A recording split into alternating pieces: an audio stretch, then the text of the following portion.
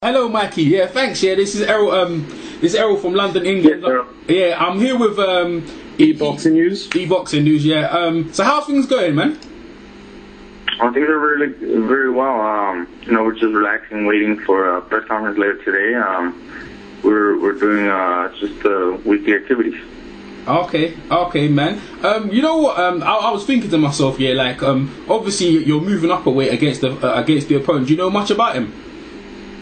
Well, I've, I've seen a, a few of his fights. Um, my dad and my brother are the ones that you know will have uh, paid more attention to him and, and and coming up with the game plan for the fight. I just um, you know I've seen him, and from what I've seen, you know, he's he's a tough, durable guy Mm. um, who has a lot of heart and always fights you know to the very end and doesn't doesn't uh, give up easily. You know. Mm-hmm. Okay. E, e, e, news. You have news for Mike? Uh. Some, yeah, yeah. So, um, this is your first fight at the super featherweight division. How do you feel about fighting at that weight? Do you feel good at the weight? I feel good. I think I think I'm doing very well. Um, I feel fast. I feel strong. I don't think the uh, increase in weight will affect my performance, you know, coming fight night um, at all. I think I think it's, uh, it's a very good uh, option for me, a good move to uh, be fighting at 130 pounds this time, and we'll just um, see how I feel, after, you know, after the fight. Mm-hmm. Definitely, definitely. Um, another question I was saying, then obviously, like um, you represent the Garcia and um, your brother. Um, sorry, your brother, your brother, your brother, yeah, older brother was the first one to get a champion. So you're going to be the first. Are you going to be the first one in your family to get uh, to be a two weight champion? Oh, sure, you're a two Oh, weight I champion. Yeah, go on. I hadn't even thought about that, but uh, you know, if, if Saturday night goes well for me, I will be, uh, you know, first one in the family to win two titles in in different weight classes. But um, you know, I'm just making sure I do everything to win Saturday night. I mean, I, I'm just uh, focused on, on on the fight and um, just got to do what I got to do. Yeah, definitely, definitely, definitely, man. And and also for the area as well, Oxnard as well. Like, um, obviously, I remember back in the days, um, Fernando Vargas and Robert, they were doing their thing and uh, winning their belts, and, and obviously for the academy and and also for the little, little kids coming up to see you're you're a great inspiration for the area and the local community Ox- of Oxnard. Yes, uh, Oxnard, you know, is, is uh, you know very big in boxing right now. You know, we've had a you know really good uh, uh, boxing history, and you know a lot of kids, you know, that that do see us and and, and uh, you know dream of and, and, and imagine and picture themselves one day being in our shoes. You know, that is a great inspiration for them to see you know so so many great fighters, you know, in one gym. Um, right now in my brother's gym, we have you know a lot of a lot of great names. You know, Rios, Mm. Gradovich, Maidana, you know myself. But yeah, all all, all these uh, you know world champions. So it's, it's definitely great for them. Yeah, definitely, and and also your your uncle um, Danny as well, who who, who's, uh, who trained um, Victor Ortiz for a while as well. Now your your your family's a rich, deep, rich in boxing history. Like, I mean, I mean, how many other brothers? You you got any other younger brothers coming up? Are you the last one? Because you. I'm the last brother. Yeah, I'm, I'm the last brother. Uh, my oldest brother Daniel, he boxed. Um, he, he he's training a couple of fighters now. Mm. My brother Robert, you know him, you know, became world champion in '98, and Mm. now he's he's a, a world class trainer, and and I'm the last the last uh, brother, you know. Yeah, man. Obviously, your father must be very proud. of Did your father used to box as well, Eduardo? He boxed a, a few times in Mexico, um, more, mostly kind of just uh, exhibition amateur competition. He never competed in any tournaments or, or any professional uh, fights, but uh, he did uh, practice a little as a kid, and then uh, when he got older, he decided to you know pay more attention in the training aspect of the sport. Yeah, man. I, I feel like uh, I don't know. Has it, was he? Has he ever been named Trainer of the Year? Because I feel like at the time when Robert was Robert was a champion, and obviously Fernando was a champion. You know, you could have should because you know you could should have got um, obviously Trainer of the Year. I know Robert's already got Trainer of the Year. Um, Eduardo never got that. Your dad never got that. I don't believe he was he was uh, named trainer of the year. He might have been uh, Yeah. considered uh, a few, you know, when, when Fernando and Robert both. I mean, he made both of them world champion in the same year, Yeah, '98. Yeah. Robert Robert in March and Fernando in December. So that year might have been a year that he might have been nominated or, Mm. or considered. But I, I don't remember him uh, ever winning that that title. Okay then. Okay. Yeah, you go. You can go. ahead. Um, Yeah. So recently, recently you've been bo- you've been uh, training also with Alex Ariza. How have you been finding Yeah. working with Alex? Uh, everything's been going really well with him. I think uh, um, the biggest uh, difference and, and the biggest help that he's brought is the uh, the diet and, and the uh, structured uh, nutrition program that he brings uh, along. Um, most other times, every other time, I, I would just you know stay away from the junk food and and and fatty foods and just make sure I eat healthy and and uh, not have to worry about making weight as much. So with the incident last time, we decided to bring Alex, you know, give us a good, you know, workout and, and diet plan that worked for me. That everything is designed, structured, portioned, measured, uh, timed, everything for me, for my body, for my weight, for my workouts, and that's been the biggest help.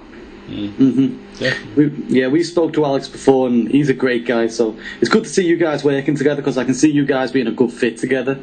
But um, just wondering, you are, of, you know, you are American but of Mexican descent, right? Yes, yes. So, and you're fighting a Puerto Rican. Over here in the UK, we don't really understand the big thing between, you know, Puerto Rico and Mexico. Can you um, tell us what it is all about? It's just uh, over the you know years um, in boxing. There's always been great fights between Puerto Rico and Mexico uh, fighters. Um, they've given some of the best fights. You know, most memorable fights are, are, are sometimes you know mostly between Puerto Rican fighters and Mexican fighters, and the rivalry just started. You know, back in the day, I guess a couple fights. You know, between them and. Um, some Mexican uh, people dislike, you know, the, the fact that Puerto Ricans are a little more flashy and flamboyant uh, with with with uh, their style of either fighting and, and and just you know their the way they speak and everything. And likewise, you know, mm, Puerto Ricans uh, might dislike Mexicans for for being just brawlers, you know, for known to be brawlers and you know less techni- technical fighters uh, Puerto Ricans are a little more refined fighters than Mexican fighters, and they just you know contradict e- each other, and they they you know they expect great fights from from Puerto Ricans and Mexicans every time they get in the ring together. So that's that's part of where the uh, rivalry between the two nations comes. It's great. That's great. Um, so let me ask about your sparring partners. Who have you got sparring? Is the Nito? Is the Nito Donaire been been? You've been sparring with Nito Donaire and or any, or, yeah, like who's your sparring partners? We we didn't spar Nonito because he was uh, sparring Southpaws, uh, getting ready for Vic Darchinyan, so we didn't uh, get get in the ring together. But I I brought uh, different sparring partners. I started off uh, for the first uh, four weeks of training with uh, Evgeny Gradovich, um, and I also brought in Saul Rodriguez from Riverside. Um, I had a couple guys there from LA and Pasadena come and help me um, get some work in. Um, just just different guys to bring a little bit of different styles to the uh, to the ring for me. Mm. How, how do you feel like your power in in this weight class? Because you're extremely in the upper, in the lower weight class, lower class, weight class you came from is quite powerful. Do you feel like your your power is going to translate into this weight class? I know your hand speed is definitely going to be there. I think my power will be the same. I don't, I don't feel uh, any difference. I don't think I'm going to gain much strength or, or lose strength, but um, I think uh, along with the power comes the fact that I'm also fighting a little bit bigger guy, and Mm. and if if he can take a well a punch well, you know, it, it may seem like my power is no longer there, but it, it just may be that he could take a better punch because he's also bigger. Mm, mm. Also, um, one of our, one of the guys from over here, Ricky Burns, was the last guy to defeat him, and he, he basically put a lot of pressure on him and broke his heart. I don't, obviously, I'm, I don't know if you if you can divulge um, your game plan or which uh, Robert has, has laid out for you. So obviously, you can't obviously you can tell exactly, but would you like if you can anyway? Well, I, I just think that you know we're prepared for for not just one strategy. I, I think uh, we're ready for for many things. Uh, if the fight unfolds a certain way where I have to pressure Rocky and and and, and really you know change with him, then I'm I'm prepared for that also. But if um, if it's to my advantage and to my best interest to fight at, at a distance where I'm able to stick and move, counter, uh, and just you know box a decision victory, then I'm I'm also ready for that. Um, I have seen some of his fights, and you know he, he is a very tough guy, and like I said, you know he's very resilient. He fights to the very very last uh, and and that's why you know I got to be ready for for many many strikes and many game plans. Mm, definitely. Would you say um, this fight coming up is your signature fight to break through into the big time? Obviously, in the worldwide, because obviously people over here in Europe, we're all talking about your video. Is this one of your signature, signature fights to, to break through into the into the big money, into the big paydays? And what do you feel? Well, that probably all depends on how well I perform. If I perform very well and I fight, you know, the excellent fight, and and and maybe knock them out, you know, with, you know, make it very exciting, exciting, then you know people might, you know, take a better interest in me now. But I, I don't, I don't look for that. I don't, I'm not here trying to make a statement where it has to be in this fight. Yeah. You know, i actually, I make sure I win and if uh, this fight may not be my most exciting fight or, or my best performance, you know, as long as I'm winning, I I am happy with my career, and maybe my next fight will be uh, more exciting, and, and um, it'll it'll take me to the next level. Yeah, definitely. E news. Yeah, there's um, a lot of decent opposition in the super featherweight division. Are you going to be sticking at this division, or are you going to be looking to leave it after this fight? Uh, I think we're we're very uh, comfortable here in this division, um, but uh, if if uh, there's something at, at a higher weight class at 135 pounds where I feel very interested in and and I feel comfortable moving up in weight also, then I may move up um, maybe you know soon. But if if I feel comfortable at 130 and there's good interesting fights at 130, then I'm, I'm gonna try to stay here for for quite some some time. Mm-hmm. Other than that, I was going to say, you know, if we take you out of the picture and we just ignore you for just a second, even though that's quite hard to do, the whole division's pretty much tied up by, you know, Japanese fighters. Would you be interested in going to Japan to fight?